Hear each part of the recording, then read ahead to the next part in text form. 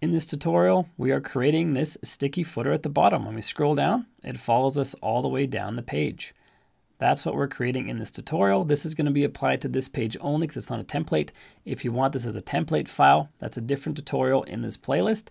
I encourage you to check that out. If you want as a template that appears on all pages on your site, this one will just be on pages that you specify, where you explicitly make this section and make it sticky. And this video is part of the Elementor Skills playlist on this channel. It's linked to in the description down below. If you want to up your Elementor skills, make sure you check out that playlist. And if you have any questions or comments about this video, please leave them down below as well. I try to answer them the best I can.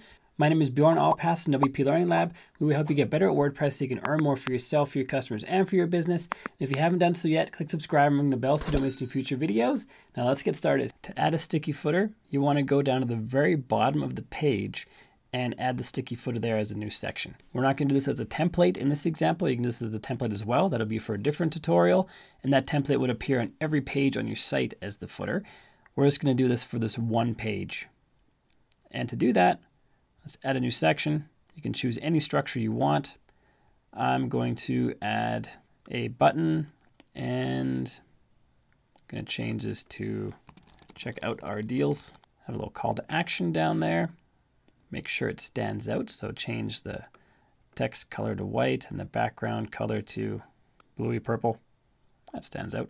We want to add a background color as well because it's going to be hovering over everything. We want to make sure that we have a defining edge. So we're going to go to the section and go to style, background type, color. I'll make it black because that's the theme of the website.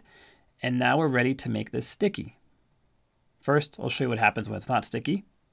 It just disappears. It's just at the bottom of the page, just like a regular old section.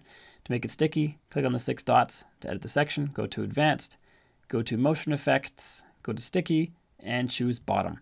And this is only available with Elementor Pro the sticky options, unless you have a third-party plugin that can do it, which you might, but if you don't, then Elementor Pro is required.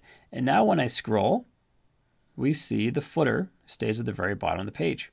And when someone comes to this page for the first time, the page will load right up here, and they're going to have the footer down at the very bottom, and it's going to follow them down all the way. You also want to make sure you check on tablet to make sure it's in the right spot, and that's a good spot because it's centered, so it should work on all of them out of the box. Mobile phone still works right there. And that's how we can add a sticky footer on a single page. The process is the exact same for a sticky footer as a template file, so it appears all over your site. It's just that you'd be doing it inside of a template rather than inside of a page like this. And I've got a separate tutorial in this playlist to show you how to do that if that's what you want. This Elementor video is part of my Elementor Skills playlist where we cover lots of the basics in Elementor to help you get up and running with Elementor as fast as possible. If you want to check out that playlist, it's a link to in the description down below and probably in a card up above somewhere during this video. So check out that playlist if you want to level up your Elementor skills. And if you don't have Elementor Pro yet, click the link in the description down below to get yourself a copy.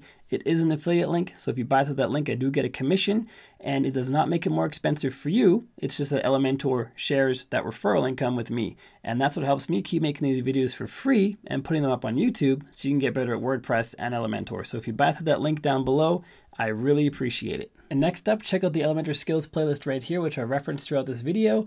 If you watch those videos, your Elementor skills will be increased. So if you want to get better, watch that playlist. And if you haven't done so yet, click subscribe and ring the bell so you don't miss any future videos. My name is Bjorn Allpas from WP Learning Lab. Till next time, keep crushing it and I will see you in the next video.